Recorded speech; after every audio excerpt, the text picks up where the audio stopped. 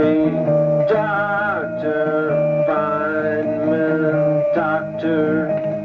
F.